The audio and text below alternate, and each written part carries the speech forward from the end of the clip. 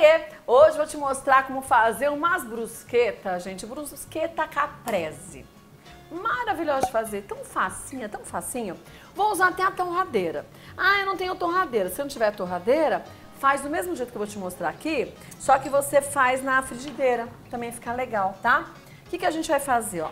Vou pegar a manteiga. Manteiga tem que estar assim, ó, pastosinha, tá vendo? Ó, com alho. Alho aqui, bem amassadinho. Ai, gente, fica tão gostosinho, tão gostosinho. O que, que a gente vai fazer? Vou misturar a manteiga com o alho. Você sabe que há um tempo atrás eu ensinei a fazer uma manteiga com ervas pra gente usar para fazer capa, pôr na carne. Fica maravilhosa. Deixa eu pôr tudo aqui, vai ficar mais fácil. Fica maravilhosa. Se você quiser fazer a brusqueta também com uma manteiga daquela de ervas, pode, também fica legal, tá? Eu resolvi fazer essa só com alho, porque como ela é caprese, se a gente coloca coisas demais, eu acho que vai tirar o sabor. Porque a gente ainda vai ter o pesto depois por cima, tá? Ó, misturou alho fresco, espremidinho, com a, com a manteiga cremosa. Pão italiano. Esse que a gente compra já fatiados, tá? Se você quiser, passa pouquinho que nós vamos pôr na torradeira, tá? Se você quiser colocar é, fazer de outro formato, redondinho, não sei o que, pode também. Ó, coloque ela aqui, desce e vamos deixar ela dourar. A parte da manteiga com alho é essa. O que, que a gente fez aqui, ó? Eu já separei o tomate em rodelinhas. Pode fazer, se você quiser também, com tomate, hum, é, aquele pequenininho, sabe, cereja? Só que eu quis fazer o tamanho da rodela de tomate mais ou menos com o tamanho, ó, da mussarela de búfala, que a ideia é a gente fazer assim intercaladinho até chegar no topo ali, da, no finalzinho da brusqueta. Fica bem legal, ó. Ai, que cheirinho bom. Olha, gente, já torrou. Olha que delícia que ela fica. Na torradeira, você vê, ela fica mais bonita ainda, ó. Olha essa, que delicinha. Ai, gente, muito boa. Viu? Não faz fumaceira. Fica bonitona, vai ficar bem legal. Vamos montar ela. O que nós vamos fazer? Já colocamos aqui a manteiga com alho. Então, vamos fazer uma, um tomate e uma mussarela. Um tomate, uma mussarela. Aqui a gente comprou a pecinha de mussarela de búfala e aí a gente foi cortando aleatoriamente. Então, é até legal você deixar assim, uma mais altinha, outra mais fininha, mais grossinha, mais fininha, não tem problema. Ó, e aí vem e deita aqui. Olha que fofa que fica. Aí o outro, mesma coisa.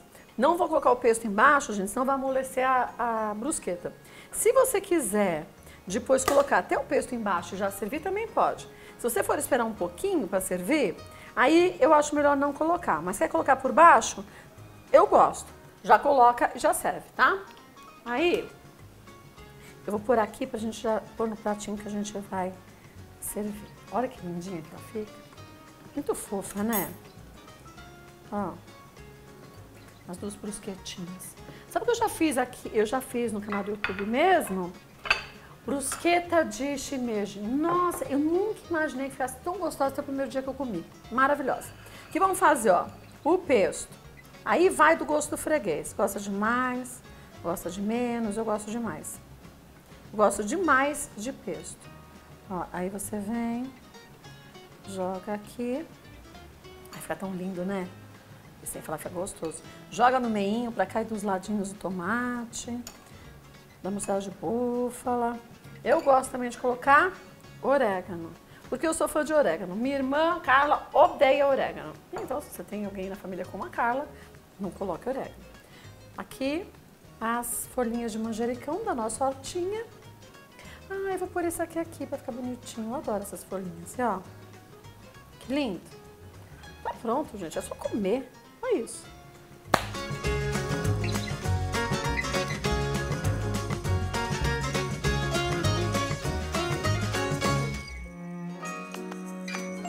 Já vou provar já?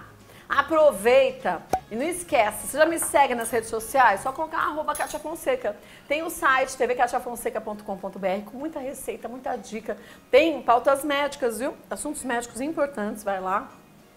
Tem ainda receitas para quem tem restrição alimentar. Vocês que sempre pedem dicas lá, tem com grandes profissionais, tá? No YouTube, TV Cátia Fonseca.